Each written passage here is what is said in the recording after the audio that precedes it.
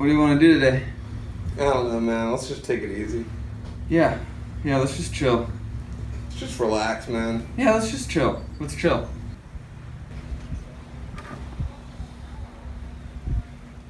Cut.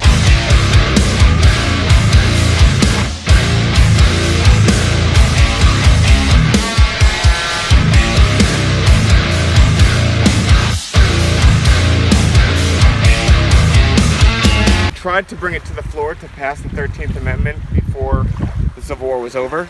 I mean, after the Civil War was